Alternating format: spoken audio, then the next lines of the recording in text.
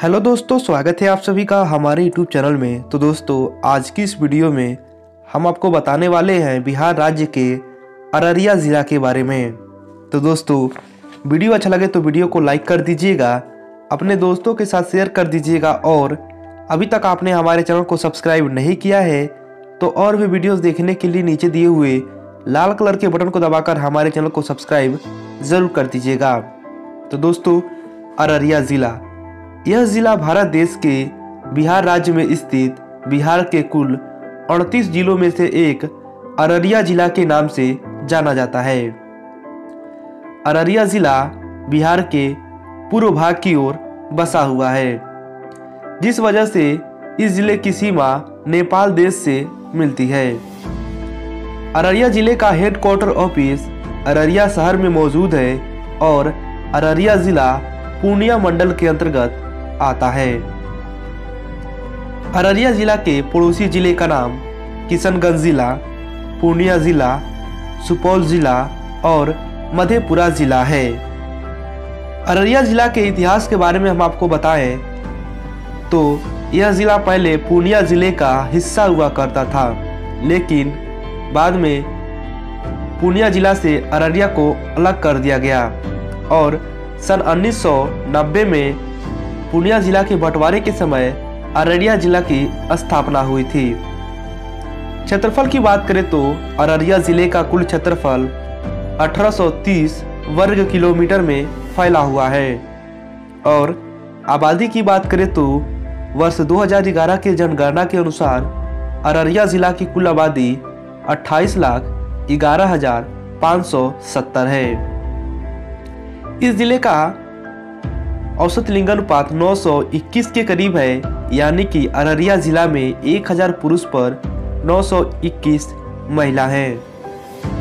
अररिया जिला में 9 block 16 police station, एक लोकसभा 6 विधानसभा, तीन नगर पालिका, ग्यारह मुख्य सरकारी अस्पताल, तीन सरकारी कॉलेज, ग्यारह बैंक, एक बिजली घर और सात सौ इक्यावन गाँव में बटा हुआ है।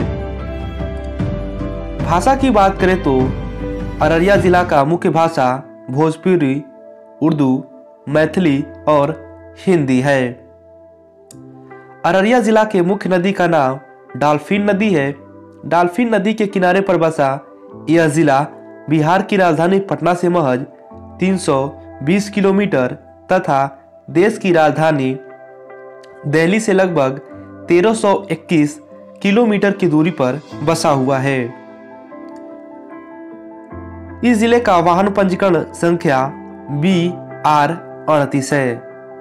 सड़क रास्ते की बात करें तो इस जिला में कई ऐसे छोटे बड़े सड़क हैं, जिसके माध्यम से यहाँ के लोग बिहार के बड़े बड़े शहरों में जा सकते हैं।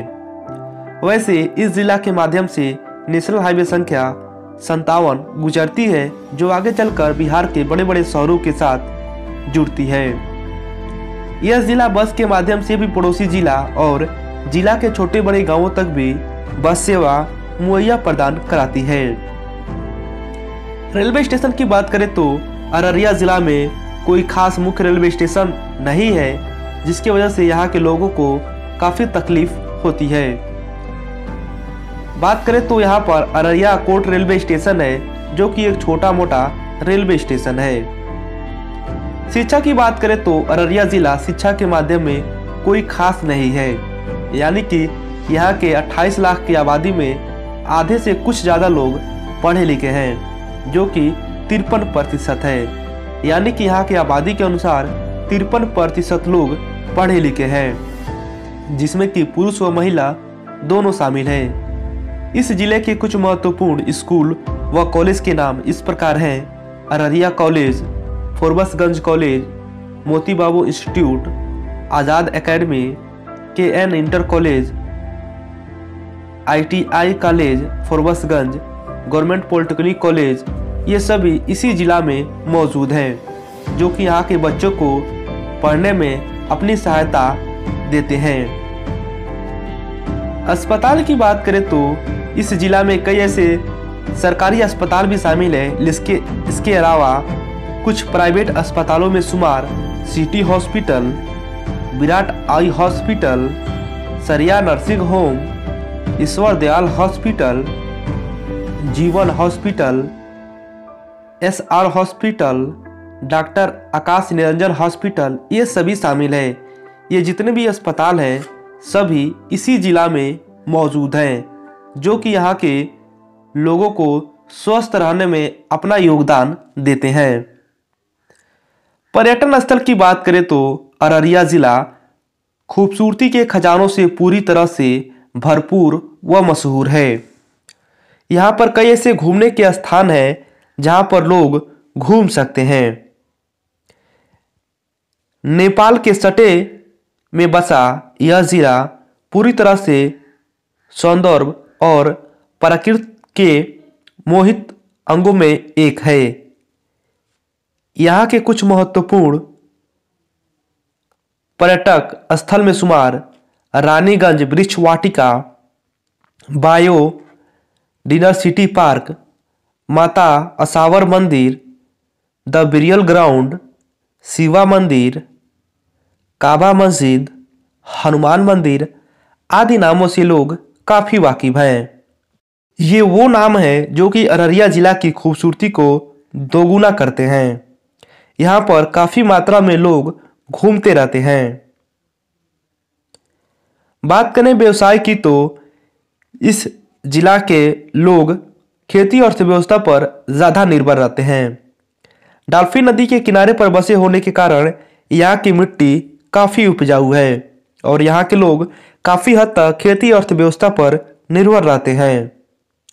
अररिया ज़िला के मुख्य फ़सल धान गेहूँ, मक्का, बाजरा, ज्वार आदि है। वैसे इस जिला में चीनी मिल के भी कुछ कारखाने हैं जहाँ पर लोग काम करते हैं। इसके अलावा कई प्राइवेट और सरकारी संस्थाओं में भी लोग यहाँ पर काम करते हैं, लेकिन यहाँ पर शिक्षा की बहुत ही कमी है। अररिया जिला के कुछ महत्वपूर्ण महान व्यक्तियों में शुमार फणीश्वर नाथ रेणु, जो कि हिंदी साहित्य के प्रमुख लेखक थे, उनका जन्म यहीं पर अररिया ज़िला में हुआ था। हाँ दोस्तों फणेश्वर नाथ रेणु यहीं के थे। इसके अलावा कौशर खालिद, जो कि महाराष्ट्र में आईपीएस, सुभद्रा राय, जो कि सरसा ग्रुप चैन, ग्रुप की चेयरमैन और एक बहुत ही अच्छी व्यक्ति। दोस्तों अररिया ज़िला के बारे में आपकी क्या राय है, हमें नीचे कमेंट कर कर ज़रूर बताइएगा। वीडियो अच्छा लगा हो तो वीडियो को लाइक कर दीजिएगा, अपने दोस्तों के साथ शेयर कर दीजिएगा और चैनल पर पहली बार आए तो चैनल को सब्सक्राइब कर कर बेल आइकन को प्रेस कर दीजिएगा।